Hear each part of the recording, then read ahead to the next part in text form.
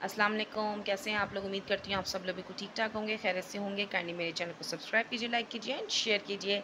आज मैं लेकर आई हूँ आप लोगों के लिए डॉक्टर डॉक्टर रशल का प्रोडक्ट है। वाइटामिन सी का सूथिंग जेल है। बहुत ही अमेजिंग बहुत ज़बरदस्त। इसके बहुत सारे बेनिफिट्स हैं जो कि डेली रूटीन्स के लिए काफ़ी सारे लोगों को बहुत हेल्पफुल रहती है। ठीक है? मैं इसके सारे आपको जो है वो जो भी इसकी क्या नाम है, इसके अंदर इसके जो भी फ़ायदे हैं, जो भी इसके आपको इस बेनिफिट्स मिलेंगे, वो तमाम बेनिफिट्स मैं आप लोगों के साथ शेयर करने वाली हूँ। अच्छा जी, सबसे पहले कि ये स्क्रीन ब्राइटनिंग है, ठीक है? स्किन की ब्राइटनिंग के लिए बहुत अच्छा है। डार्क स्पॉट्स रिड्यूस करता है डार्क स्पॉट्स आपके ख़त्म करेगा स्किन को नॉइस्चराइज करेगा। आपकी स्किन के लिए बहुत ही हेल्पफुल है, बहुत यूथफुल है, ठीक है जी? सबसे बड़ी के, कि आपकी नेल्स के लिए भी अच्छा है। आपके नेल्स को हाइड्रेट करेगा, ठीक है? एसेंस है एक तरह का आपकी नेल्स के लिए, जो कि आपके हेल्दी नेल्स के लिए बहुत इफ़ेक्टिव है। आप इसे अपने नेल्स पे भी अप्लाई कर सकते हैं। उसके अलावा एज अ मेकअप प्राइमर आप इसको यूज़ कर सकते हैं।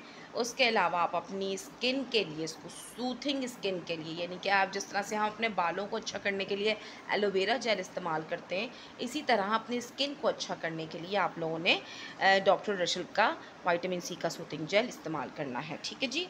एज अ प्राइमर मैंने बताया आपको मेकअप करने से पहले एज अ प्राइमर भी आप इसको यूज़ कर सकते हैं, ठीक है?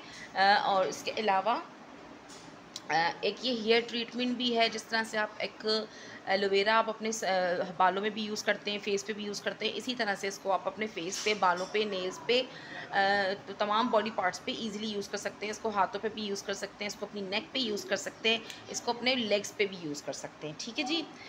कूलिंग आइज़ देखिए इसमें लिखा हुआ है, सब मैं आपको करीब से दिखा दूँ। Cooling eyes moisturising lips lips के लिए भी है आइज़ के लिए भी है हेयर्स के लिए भी है ठीक है यहाँ देख लीजिए यहाँ नेल्स के लिए भी है और इसके अलावा moisturise for body full body ये देख लीजिए।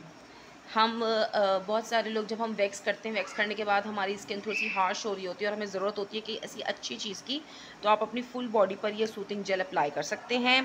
ठीक है एज अ मॉइस्चराइजिंग मास्क इसको आप एज अ मास्क भी फेस पे अप्लाई कर सकते हैं। लगा के छोड़ दें ड्राई हो गया ड्राई करने के बाद आप इसको वॉश कर दें। ठीक है जी? तो जिसको भी ये वीडियो पसंद आए ऑर्डर करने के लिए आप लोगों ने मुझसे मेरे व्हाट्सएप पे कांटेक्ट करना है।